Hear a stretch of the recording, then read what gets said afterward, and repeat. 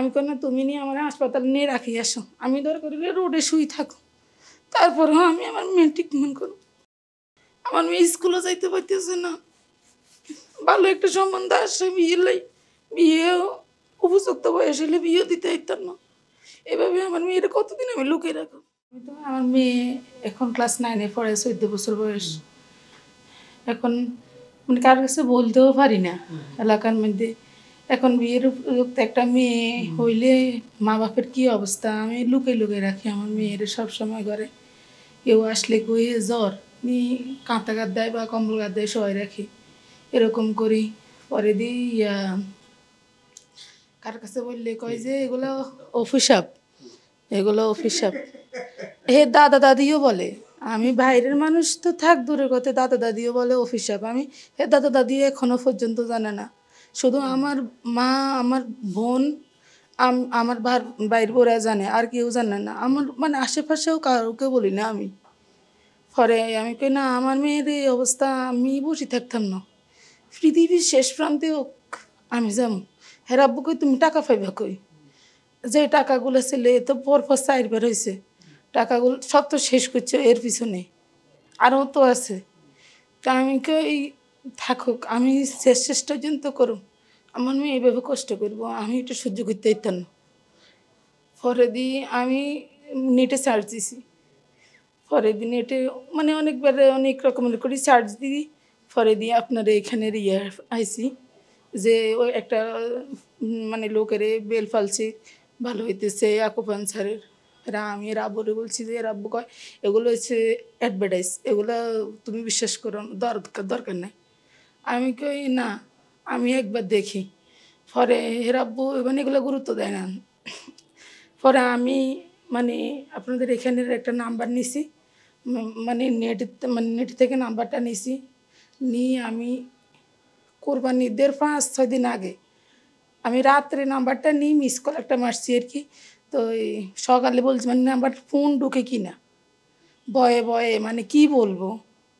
পরে আমি miss call দিছি সকাল দশটার দিকে আমি থেরাপি দিতে যাইতেছি ওকে আমাদের এখানে আমি সেপাড়া যাইতেছি আর তো বলতেছে ইয়া, এখান থেকে মানে রাত্রে ফোন আসছে তা আমি বলতেছি যে আমি গাড়িতে আসছি না আমি কথা বললাম তো আমি পরে ফোন দিছি ফোন দিছি আমি আমার মেয়ের বেল ফালছি সমস্যা আমি আপনার বাবা কথা বলছি, ডাক্তার শহীদুল্লাহ স্যারের সাম্পারিটা কয় হ্যাঁ তো আবার কনফিউজ ছিলাম যে মানে উনি তো পুলিশের এসপি কি না?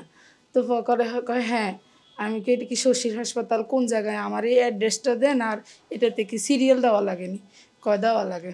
তো ছাব্বিশ তারিখের সিরিয়াল নিছি। পরে আমি হেরাব্বু ঢাকা মিরপুরে মুদি দোকান করে। আমি হেরাব্বুর বলছি হেরাব্বু আমার বকা জকা করে। আমি কেন তুমি নিয়ে আমার হাসপাতালে নিয়ে রাখি, আসো। আমি দরকার হলে রোডে শুই থাকো। তারপরেও আমি আমার মেয়ে ট্রিটমেন্ট করো, কত টাকা পাইবা কই? আমি কই, আমার জিনিস কদ্দুর আছে, আমি এগুলো বিক্রি করলাম কয়গুলো দিয়ে কদিন যাইব? আমি কি দেখি? কি করা যায়? তারপরেও আমি আমার মেয়ের চিকিৎসা করাম।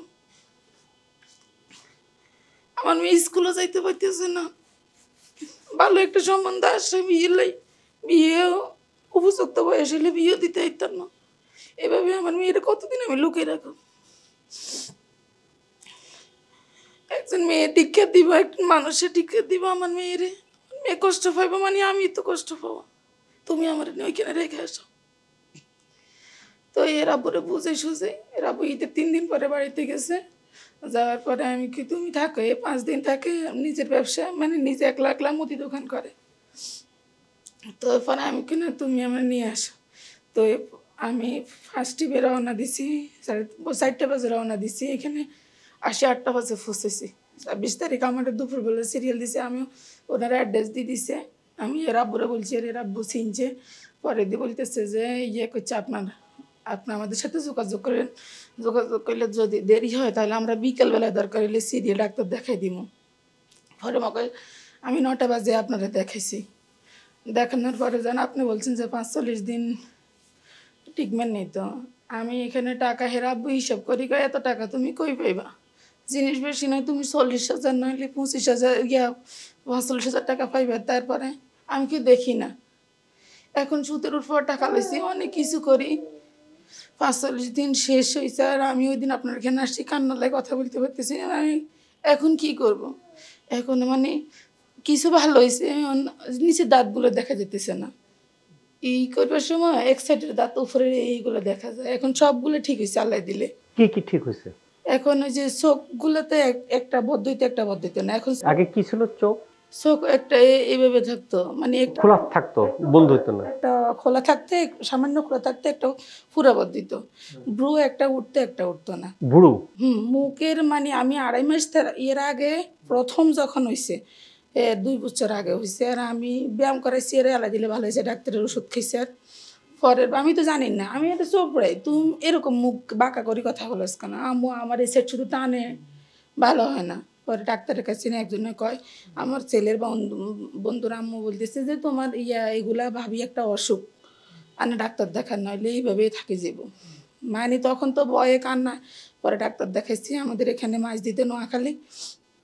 দেখাইছি আর ডাক্তারে কয় এইটা তো কোনো সমস্যা নেই, এটা ভালো হয়ে যাব পরে ব্যায়াম করাইছি, ডাক্তারের ওষুধ খাইছি, আল্লাহ দিলে ভালো হয়ে গেছে। পরে মনে হয় দেড় বছর পরে আমার মেয়ে আবার ফ্রিজের পানি খাইছে। খাইছে রে কানের পিছনে ব্যথা, কানের পিছনে ব্যথা আম্মু আম্মু আমার কানের পিছনে ব্যথা অনেক দিন আমি এত বলতে পারবি না, কদিন পরে মানে পাঁচ, ছয় দিন পরে আবার শুরু হয়েছে। এভাবে আঁকা হয়ে যায় আবার পনেরো, দশ, পনেরো দিন দিচ্ছি থেরাপি দিয়ে সেরালাই দিলে ভালো হয়ে গেছে। এরপরে আবার দেড় মাস পরে এ আবার ফ্রিজের পানি খাইছে। ফ্রিজের প্রাণী ফ্রিজ আমি আমার ভাই বিদেশ যাইবো, ভাই ছেলে মারা গেছে, আমি ওইখানে গেছি, ফ্রিজের ভাত রাখি এগুলো বাইর করে খাই। গরম করে না, আমার ঘরে গ্যাস ট্যাস সব আছে, গরম করে না। তা আবার হয়েছে দেড় মাসের মাথায় আবার মোট কয়বার হয়েছে চাই এখন থেকে চাইবে চারবার? চারবার শেষের বার যখন হয়েছে হওয়ার পরে? আড়াই মাস থেরাপি দিছি ভালোই হয় না মানে মুখ আড়াই মাস আড়াই মাস থেরাপি দিয়েছেন ভালো হন নাই? কথা বললে মুখ এক্সাইটে এমনি বোঝা যায় না। তো এই মানে এই এটা এই এদিকে আসেই না। তখন আর কি আপনার এখানে আসে এখানে আসার পরে এখন কি ওইদিকে আসে। তাহলে তিনটা সমস্যা ছিল। মোটা দাগে যে ভুরু। ভুরু কুচকাইতো না চোখ মেলা যেত না। বদ্ধ হইতো না। বন্ধ হইতো না চোখ বন্ধ হইতো না। আর মুখ বাঁকা ছিল মুখ কথা বললে ইয়ে হইতো। কথা হাসতেও হাসলেও বোঝা যেত। একা পুরো এক সাইডে চলে যেত এক সাইডে অন্য জায়গায় আড়াই মাস ট্রিটমেন্ট করছেন থেরাপি দিতে প্রিয় দর্শক দেখেন এতক্ষণ যে কাহিনীগুলো আমরা শুনলাম খুব বেদনাদায়ক।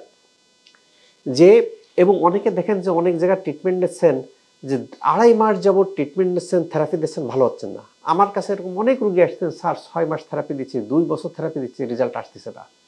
শশী হাসপাতালে কিছুদিন ট্রিটমেন্ট দেওয়ার পরে রেজাল্ট ট্রেমেন্ডাস আর আমাদের দেশে এখনও কুসংস্কার, কিছু আবদ্ধ রয়েছে। কথায় বুঝে গেছেন হয়েছে বেলস পেলসি বেলস পেলসি হলে কী হয়? ভুরুটা ঠিকমতো কুচকানো যায় না, চোখ ঠিকমতো মেলা যায় না, বন্ধ করা যায় না মুখ একদিকে বাঁকা হয়ে যায়, কথা বলতে অসুবিধা হয়। কি বলে? বলে কিছু অভিশাপ। এটা একটা ডিজিজ অভিশাপ না। বুঝাবেন কেমনে? যদি মায়ের এই সংগ্রাম করে শশী হাসপাতাল না আসতেন, তাহলে হয়তো এই অভিশাপ নিয়ে বাকি জীবনটা পার হইতে হতো। সেই বাকি জীবনটা সুস্থ স্বাভাবিক অবস্থায় ফিরে আসার জন্য শশী হাসপাতালে যে ট্রিটমেন্টগুলি আছে কোর্স কমপ্লিট হ্যাঁ কারও কারও আগে ভালো হয়, কারও কারও একটু সময় লাগে, ধৈর্য ধরে যারা এই জাতীয় ট্রিটমেন্টগুলি নিচ্ছেন, বিশেষ করে যারা যেখানে আপনি প্রচলিত ট্রিটমেন্টে ভালো হচ্ছেন না, আপনি অনেক জায়গায় আপনি থেরাপি নিচ্ছেন, ভালো হচ্ছেন না, আপনি ধরেই নিয়েছেন যে এটা অভিশাপ, ভালো হবে না, কথাটা আসলে সঠিক নয়।